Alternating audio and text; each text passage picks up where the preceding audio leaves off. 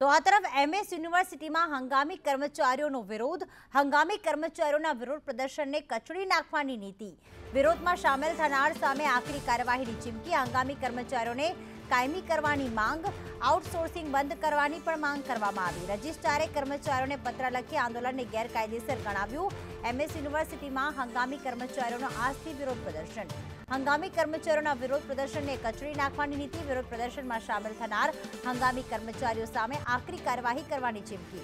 હંગામી કર્મચારીઓને કાયમી કરવાની અને આઉટસોર્સિંગ બંધ કરવાની માંગ કરવામાં આવી રહી છે. વડોદરાની એમએસ યુનિવર્સિટીમાં વધુ એકવાર મોરચો મંડાયો છે અને આ મોરચો છે તે ક્યાંક? જે રીતે હંગામી કર્મચારીઓ છે, તેઓ અવારનવાર રજૂઆત કરી ચૂક્યા છે કે તેમને કાયમી કરવામાં આવે તેમ છતાં પણ કાયમી નથી કરાતા અને તેના કારણે રામધૂન કરવામાં આવી રહી છે. મંજીરા વાજા પેઢી સાથે રામધૂન કરાઈ રહી છે અને વિરોધ નોંધાવવામાં આવી રહ્યો છે. તેમની સાથે વાત કરીશું. આ સમગ્ર વિરોધ શું છે? અગાઉ પણ રજૂઆત કરી હતી કે કેમ આજે શું અગાઉ પણ સાહેબ અમે વાત કરી હતી. અગાઉ પણ અમે વાત કરી હતી સાહેબ, રજિસ્ટ્રાર સાહેબને વાત કરી હતી, ડેપ્યુટી રજિસ્ટ્રાર સાહેબને વાત કરી હતી, પણ હજી સુધી કંઈ ચુકાદો આવ્યો નથી, એટલે અમે ફરી આજે આંદોલન ચાલુ કર્યું છે.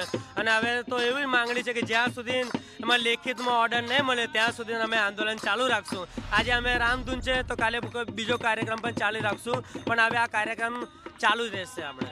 ચીમકી આપવામાં આવી છે, આંદોલન ન કરવા માટે. આ સાહેબ, ધમકી એવી આપવાથી રજિસ્ટરના આપણો સર્ક્યુલર બે કાલે દરેક ડીન પર પહોંચી ગયો હતો કે જે પણ આ આંદોલનની અંદર જોડાય એ લોકોની સામે અમે કડક પગલાં લેવામાં આવશું.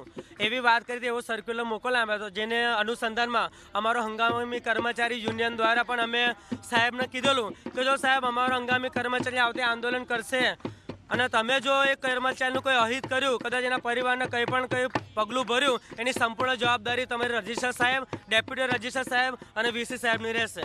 કેટલા કર્મચારીઓ છે સાહેબ એમ તો ચૌદસો જગ્યા તો આખી યુનિવર્સિટીમાં ખાલી છે પણ અમે આઠસો કર્મચારી નોન ટીચરની જગ્યા છે. શું શું સમસ્યા છે? કેમ આંદોલન કરો? સમસ્યા એક જ છે કે કાયમી નથી કરવામાં આવતા. ઘણા લાંબા બાવીસ પચીસ વર્ષના સમયથી હજુ સુધી કાયમી નથી કરવામાં આવતા. એ